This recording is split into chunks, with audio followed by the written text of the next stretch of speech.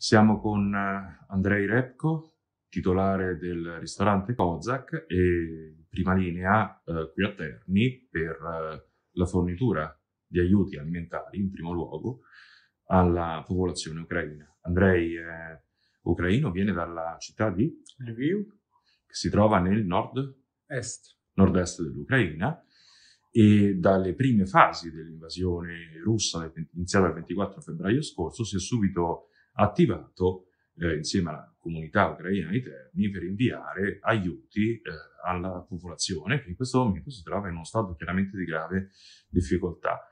Allora, Andrei, ci può raccontare come è iniziata questa attività di aiuto? Adesso, prima di tutto, sono già partite tante interviste prima, de- prima che è cominciata la guerra, perché già c'è stata una situazione un pochetto critica e fra, diciamo, c'era una situazione di crisi fra Ucraina e Russia. Poi da quando è cominciata la guerra abbiamo, abbiamo, bisog- abbiamo, pensato di fare quello che si poteva fare, perciò o di partire e andare in Ucraina o diciamo di mettersi a aiutare chi sta di, già di là. Perciò io con il nostro gruppo di ragazzi, che sono tutti ragazzi ucraini che lavorano qui a Terni, ci siamo messi a disposizione della comunità, abbiamo creato questa associazione di ucraini a Terni e stiamo aiutando, stiamo aiutando a chi sta di là che chiaramente sta peggio di noi perché sta sotto il continuo assediamento, sotto bombardamenti e quello più o meno è quello che facciamo. Raccogliamo i beni di prima necessità, perciò cominciando dai medicinali, cibo per bambini che, di cui c'è più bisogno e il cibo chiaramente in scatola. Quindi un cibo a lunga conservazione. Sì. Come li fate arrivare? Adesso li facciamo arrivare con i pullman, con pulmini. Adesso abbiamo fatto diversi viaggi con pulmini nostri. E poi eh, facciamo i viaggi con i pullman di linea che portano i rifugiati in Italia. E ritornando indietro vuoti, li, li carichiamo tutti questi beni e ritornano, chiaramente ritornano al paese e poi da lì vengono smistati. Avete avuto qualche responso da parte delle persone che sono laggiù?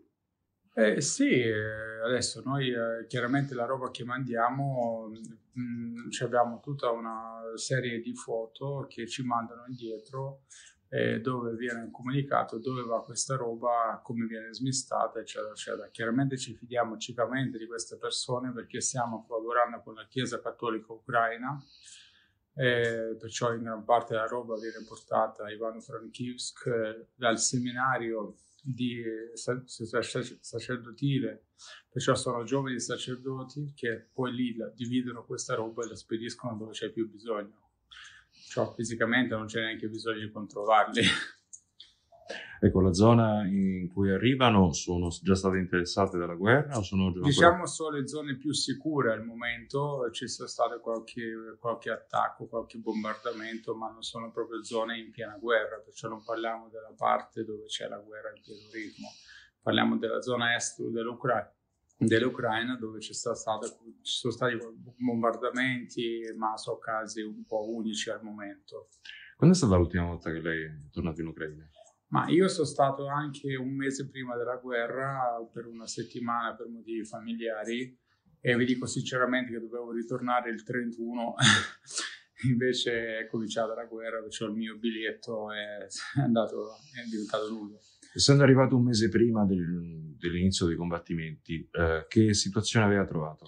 Io ho trovato una situazione tranquillamente, la gente viveva la sua vita reale, nessuno si preoccupava della guerra o di quello che potrebbe succedere. Io ho vissuto, io sono stato lì una settimana, ho visto la vita normale, la vita reale, ristoranti pieni, mh, turisti, perciò il paese europeo che vive la sua vita reale e tranquilla. Lei che idea si è fatto del conflitto in corso?